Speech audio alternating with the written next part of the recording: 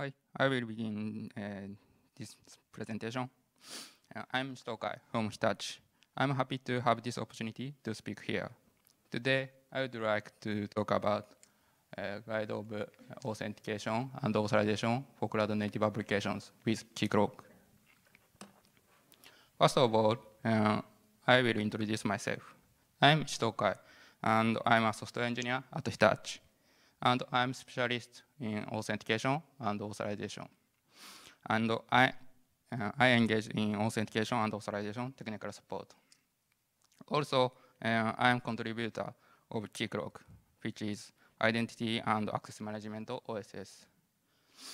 I contribute to Keycloak, such as OAuth 2.0 device authorization grant, uh, performance improvement, security improvement for tokens.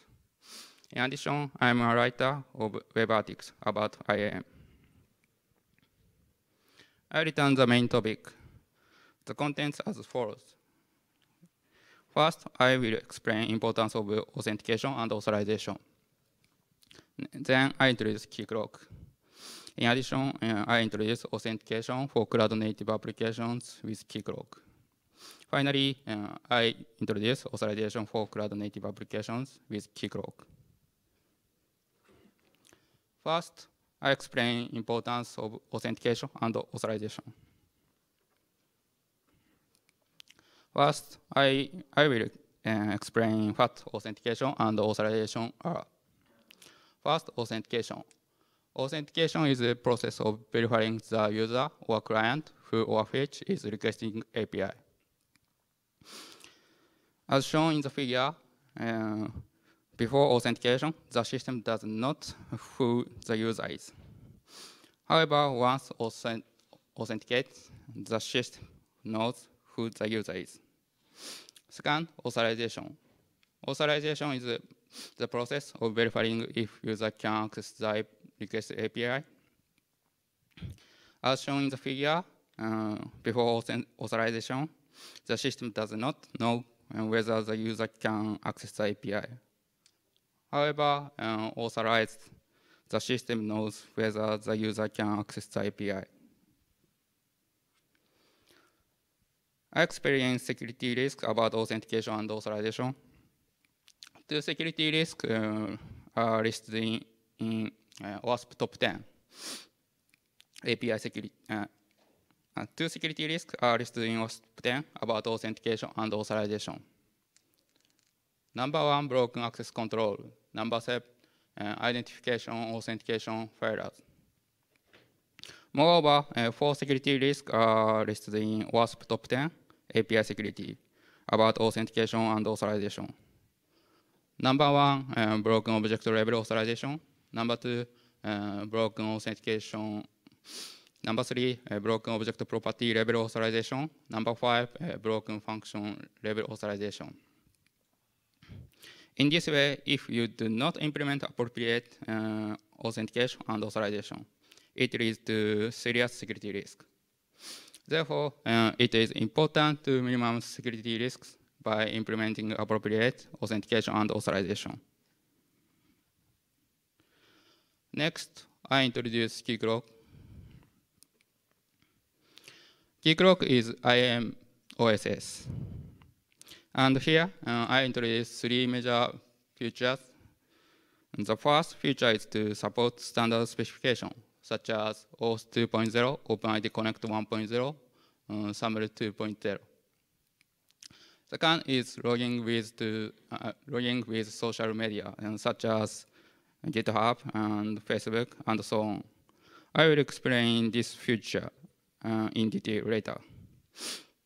That uh, the third uh, feature is to connect to existing user stores uh, such as LDAP and Active Directory. In addition, Keycloak has two advantages for cloud-native environments. The first environment, uh, first advantage is easy deployment, deployment on Kubernetes environment. There are two ways to deploy Keycloak in Kubernetes. And the first is uh, using Docker image. The second is using uh, operator. The second, uh, the second advantage is that Keycloak is suitable for container environment. Keycloak changed base distribution from Wildfly to Quarkus in November 2022. Then Keycloak starting has been fast from 30.5 seconds to 8.7 seconds.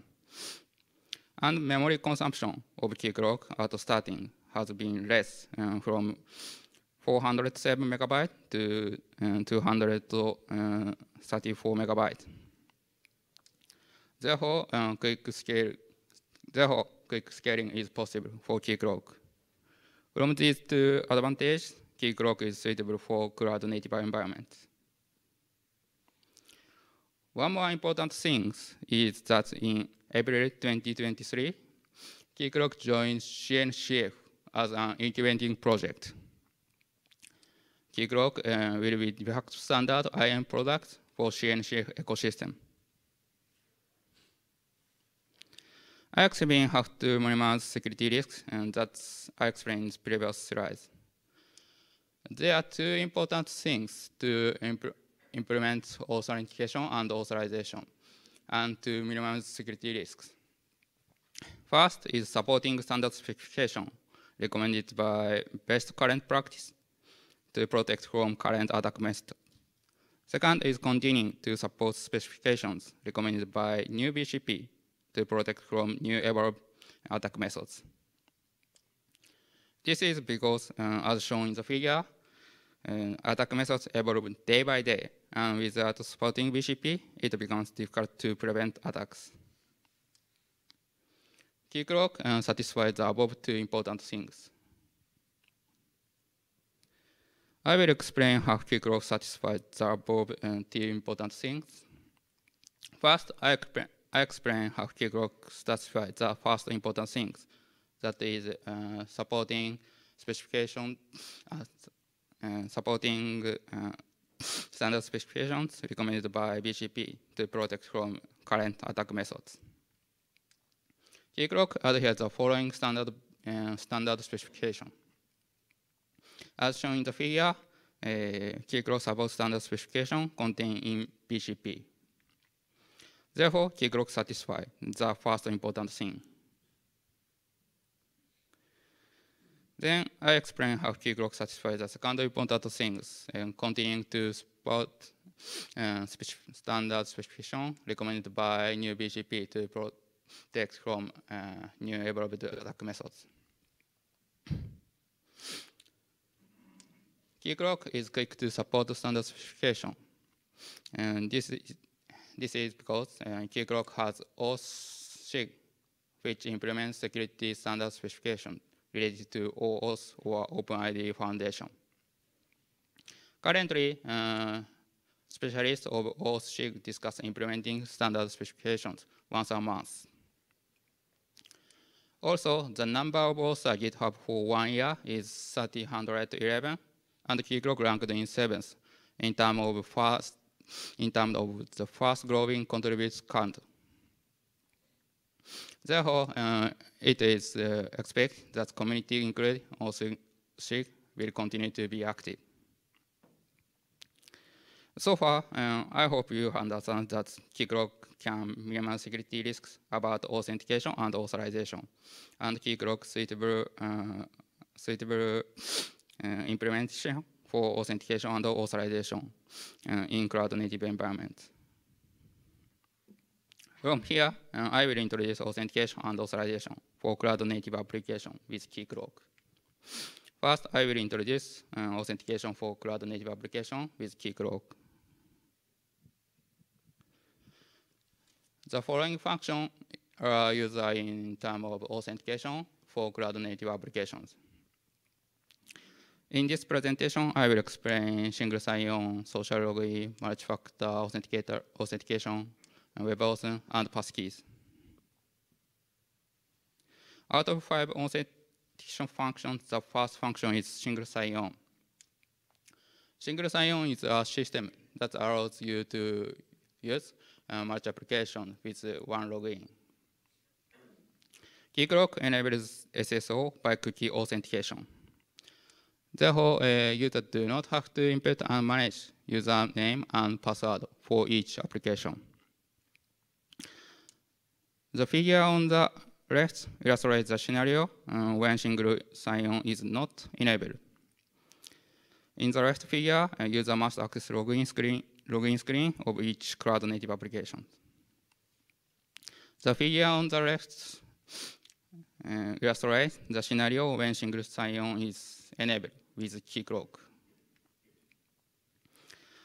In the left figure, Keycloak provides same login experience in each cloud-native applications. From the above, Keycloak improved user experience. Out of five authentication functions, the second function is social login. Social login is logging in service user account of social media. Keycloak allows users to use account of social media such as Facebook, Twitter, and Microsoft, and so on. Therefore, users do not have to input user information such as name, address, email, telephone, telephone number, and password. On the other hand, users do not have to register user information. In addition, users do not have to manage uh, username and password. The figure on the below illustrates the scenario when user use account of GitHub or Facebook to log in in cloud-native application with Keycloak. When user when press login, press login with GitHub, uh, user access the GitHub login screen. And then user can log in with uh, user's GitHub account. The same apply when logging with account of Facebook. Therefore, user can cloud native application without registering user information. From the above, Keycloak enhance user experience. Out of five authentication functions, the third function is multi-factor authentication. Multi-factor authentication is authenticating by using two or more of the following these three. First is something you know, for example, password. Second is something you have, for example, authenticator. Third is something you are, for example, fingerprint. And Keycloak authenticate using something you know and something you have. The figure on the below illustrates the scenario uh, when users log in using password and one-time password with Keycloak. First, user register authenticator with Keycloak. User access login screen and inputs username and password. This is authenticated by something you know. When password authentication is successful, Keycloak return one-time password screen. User input one-time password displayed uh, in Google Authenticator. This is authenticated by something you have. When uh, one-time password authentication is successful, user can log in. Keycloak uh, prevents illegal authentication uh, even if attacks succeed in password authentication by attack methods such as directionary attack, um, password list-based attack, brute force attack, and reverse brute force attack. The figure on the below illustrates the scenario. Uh, the attacker knows victim's username and password. Password authentication succeeds because attacker knows username and password. Attacker needs to perform, after password authentication, attacker needs to perform one-time password authentication. But one-time password authentication fails because attacker does not have authenticator. In this way, uh, Keycloak prevents illegal login with MFA. Out of five authentication functions, the fourth function is uh, WebAuthn. WebAuthn uh, is authentication technology which enables uh, passwordless authentication and MFA. Keycloak authenticates user without password. Therefore, users do not uh, need to remember complex password. Here, uh, I will explain how Keycloak authenticates without password. First, uh, user, user sends uh, authentication request to Keycloak, and Keycloak returns challenge to user. Then uh, user authenticates uh, with authenticator. For example, uh, fingerprint authentication, facial authentication. Here use uh, uh, fingerprint authentication. When fingerprint authentication is successful, authenticator signs challenge, and authenticator pass signature for challenge and to Keycloak. Keycloak uh, authenticate by verifying the signature. This is authentication by something you have when verification of signature is successful, user can log in.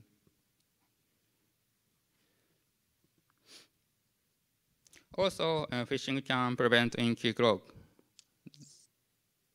Uh, the figure in the pro uh, illustrates the scenario attacker use phishing site.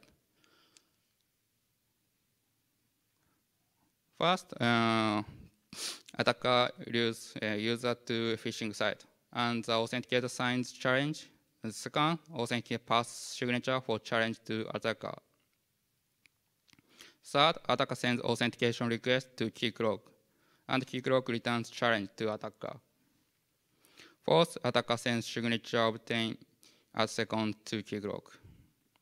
And Keycloak uh, verify, verifies signature, but uh, signature verification fails uh, because the third challenge and fourth challenge are different.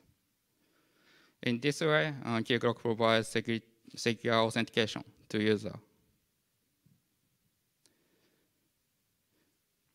Out of function, uh, out of five functions, the fifth function is passkey. Passkey is authentication technology with synchronized credentials between multi-authenticators by cloud platform. Keycloak authenticates user with multi-authenticators. Therefore, uh, users use can uh, therefore users can use smartphones and PCs uh, as authenticator. The figure uh, on the below illustrates the scenario um, when users use passkey with Keycloak. When user uh, lost or replaced smartphones uh, user can use PC or new smartphone as authenticator without re registration. This is because credentials are synchronized. Keycloak uh, improves user experience. In chapter 3, I introduce authentication for cloud-native applications with Keycloak.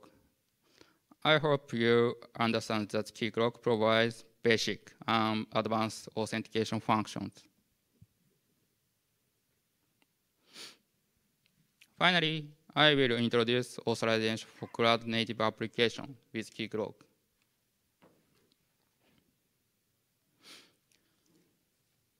To support the following uh, standard specification is useful in terms of authorization for cloud-native application. I will explain OAuth 2.0, uh, financial grade API 1.0, OAuth 2.0 device authorization grant. Out of three standard specifications, the first standard specification is OAuth 2.0. OAuth 2.0 is de facto standard uh, about issue of token, which is essential for authorization. Keycloak issues token in compliance with OAuth 2.0. The figure on the below illustrates uh, the flow of OAuth 2.0. First, uh, user use client and client sends client sends authorization requests to Keycloak via the browser. Second, Keycloak executes uh, user authentication and authorization. Third, uh, Keycloak return authorization response to client via the browser. Uh, fourth, uh, client send token request to Keycloak because uh, client obtain access token. Access token is necessary to send API request. Fifth, uh, Keycloak return token response include access token. Seventh, uh, client sends API request with access token. Seventh, the XX service uh, verifies access token and returns API response. This is the flow of OAuth 2.0. However, uh, OAuth 2.0 is a standard specification with a high degree uh, of freedom. So uh, there is an issue that is that uh, it is easy to create security holes. In fact, um, there are attacks that cannot be prevented in OAuth 2.0. Out of three standard specifications, the second standard specification is financial grade API. FAPI 1.0 is high-level security specification describing security secure usage of OAuth 2.0 and OpenID Connect 1.0. For example, PKCE is optional in OAuth 2.0, but PKCE is required in FAPI 1.0 to increase security. I will explain the demand for FAPI 1.0. Uh, FAPI 1.0 is expected to support it, particularly in the financial industry. The following is open banking is using FAPI 1.0. The first open banking in UK.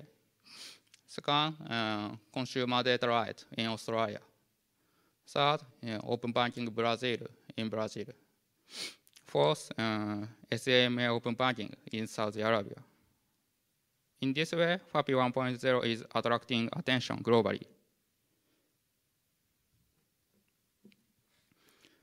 Keycloak prevents attacks that cannot be prevented in OAuth 2.0. Therefore, a user can use service securely. First, uh, I will explain attacks that cannot be prevented in OAuth 2.0. The figure, uh, the figure in the below uh, illustrate uh, these attacks that cannot be prevented in OAuth 2.0. First, uh, tempering of authorization requests. Authorization requests are easily tempered in OAuth 2.0 because authorization requests are sent via browser. The second is uh, tempering of authorization response. Authorization response are easily tempered in OAuth 2.0 because authorization response are sent via browser. Authorization res uh, third, and illegal use of API by stealing access token. There is no verification uh, of there is no verification of source of API request in OAuth 2.0. Therefore, if attacker steals access token, uh, attacker illegally use API.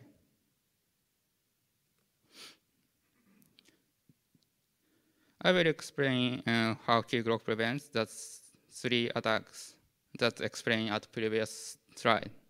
First is how to prevent tempering of authorization request.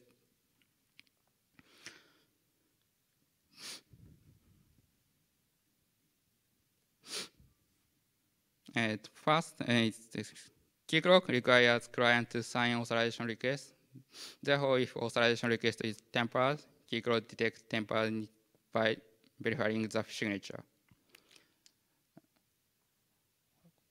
Second is uh, authorization response. Uh, second is how to prevent tempering of authorization response. Keycloak signs authorization response. And therefore, if authorization response is tempered, client detects tempering by verifying the signature. Third is how to prevent illegal use of API by stealing access token. Keycloak includes information of client certification in access token. Therefore, if attacker sends API request with access token, XX service can reject uh, API request. Because XX service can, can know the valid source of API request from information of client certification in access token. In this way, uh, Keycloak provi provides secure authorization to users. Out of three standard specifications, the third standard specification in OAuth 2.0 device authorization grant. OAuth 2.0 device authorization grant is designed for IoT device that is a lack a browser or a input constraints text. Keycloak uh, executes authorization even if client does not have browser. Therefore, users can use IoT device as client. The figure on the below illustrates the flow of OAuth 2.0 device authorization grant with Keycloak when users use smart TV as client. First, uh, client uh, client use uh, smart TV as client. And client sends device authorization request to Keycloak. And second, Keycloak return device authorization response with verification URL and user code. And client uh, displays verification URI and user code. Third, uh, user inputs verification URI into smartphone and access verification URI. While user is inputting URI, uh, client continues to send token requests to Keycloak at regular intervals. Keycloak returns token response to client, but uh, user has not yet been authenticated and authorized. Token response does not include access token.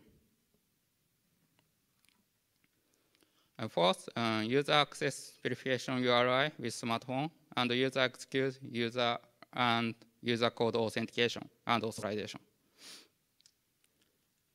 And fifth, after authentication and authorization are complete, client sends token request to Keycloak. Six, uh, Keycloak returns token response, include access token to client. Seventh, uh, client sends API request with access token to XX service. Eighth, XX service uh, return API response to client. In this way, uh, Keycloak uses IoT device as clients. Uh, since the number of IoT devices is uh, likely to increase in the future, supporting OAuth 2.0 device authorization grants will be important. In chapter 4, I introduce authorization for cloud-native applications with Keycloak. I hope you have understand uh, Keycloak supports uh, various standard specifications.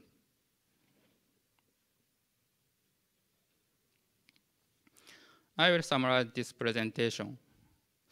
First, I explain importance of uh, authentication and authorization.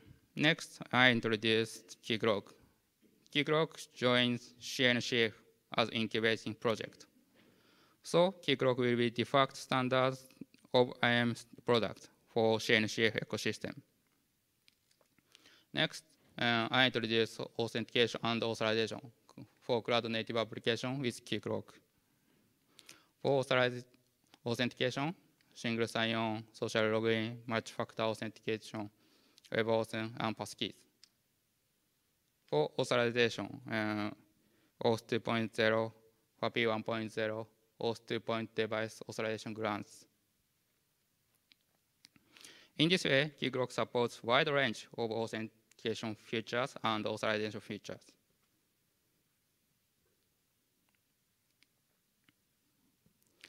Finally, if you would like to know more about Keycloak, please see official document on GitHub and book written by the Keycloak project leader. Thank you for your attention.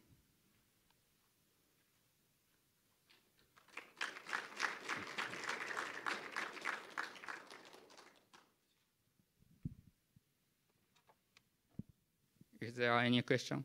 I would be pleased to answer them.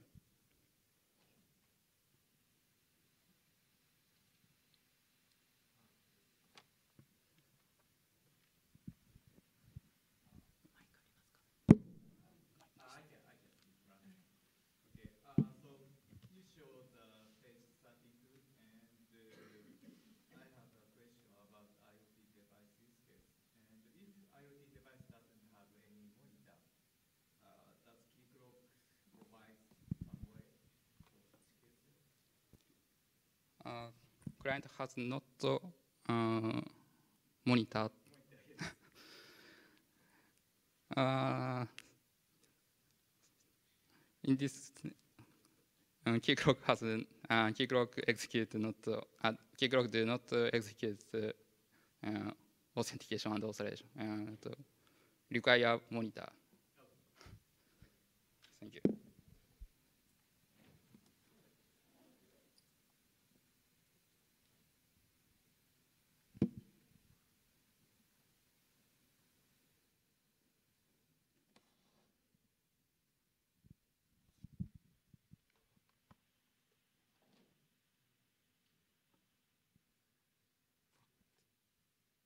Actually, we've been, we've been using Keycloak for quite a while, and uh, uh, what we've noticed is actually, um, um, so it, it supports very like few languages, like uh, the client it supports very few languages.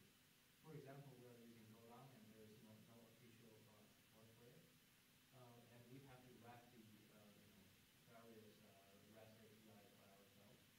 Uh, So as this is joining like CNCF to support more uh, like, you know, projects, is it providing like support for more languages on the client?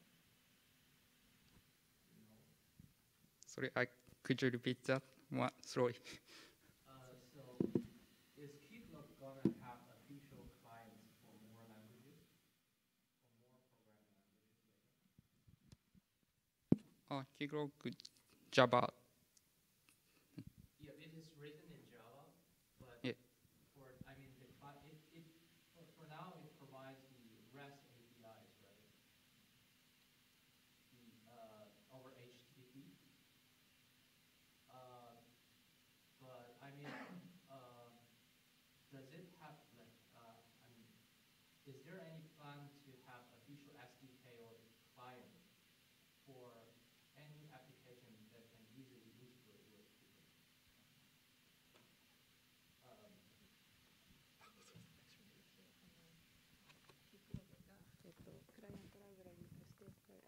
れあの REST API があるのは分かるんですけど他のあの言語でサポートする予定はありますかっていうででいろんな言語でもっと増やしたりとかゴーラン使ってるらしいんですけどなんか結局 REST API をゴーランで叩かなきゃいけないからなんかクライアントライブラリー他の言語で増やす予定がありますか？Ah, I'm sorry.